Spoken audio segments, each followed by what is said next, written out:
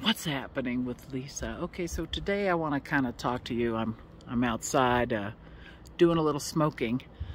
I'll show you that in just a second, but I want to kind of sit and tell y'all that I'm sorry I haven't done a video in a while. I haven't been up to myself or up to being feeling good enough to do a video. You know how sometimes you you get down and it's hard to come come out of that and you know that's kind of what's happened and I know it's been a couple of months. Uh, I did make it to Florida. Um, we did make it back to Texas and and we're right now we're in beautiful Colorado and we're having a great time and I'm smoking and let's take a look at that right now. So, uh, ooh, let that smoke all clear out of there. It's been on for about, oh, I'd say 30, 30, 40 minutes. I thought I was going to do it for about an hour and a half. Uh, we'll see, maybe two. Um, got my temperature, trying to keep it right around 300 or, you know, a little less, but right around 300. We want to get it in there good. Um, but I'm just sitting outside chilling and, and smoking. Haha, not, but not cigarettes, no, no. Smoking some meat. That's kind of the smoking I like to do.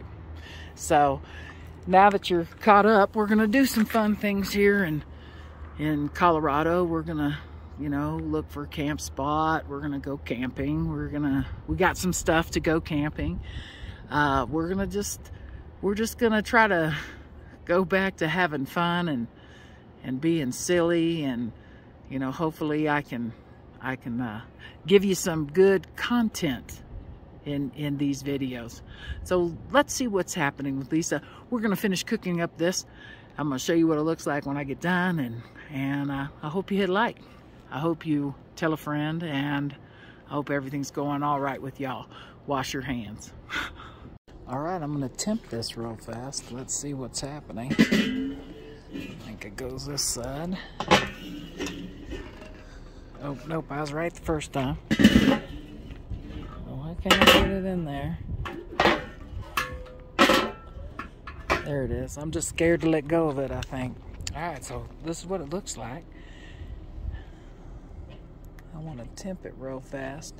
These two were from a different uh, set of chickens. This was a half a chicken I got at the store. So that's why the half a chicken looks so much better than the other chicken. But now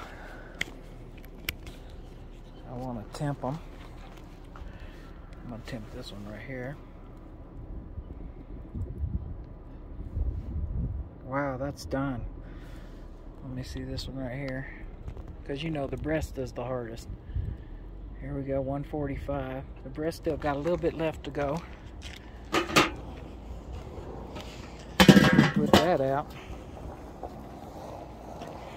All right, that's what's happening. They're coming along real nice. We're gonna have a little bit of, I think, Brussels sprouts mixture conjure in the house. I think it's got Brussels sprouts, jalapenos, onion, garlic, mushroom. I, I, don't even know what else. The kitchen sink, I'm sure, well, maybe that's in it too. We'll see. So stay tuned for what it looks like when it's done. Okay, sorry, y'all. I got hungry and carried away, but it is absolutely delicious. I used um, Kingsford um, apple wood and then I had some leftover apple bits of wood that I got in um, Oak Valley in California. So I, I put that in there and I just lit it on fire on one side of the of the grill and as you saw and then I put the meat on the other side and wow it turned out fabulous hey thanks for watching I'm gonna do some more food and some more stuff because I really like to cook and I want to get back to cooking because you know I want to get back to some some good fun videos. So hit like, tell a friend. I'll see you guys soon.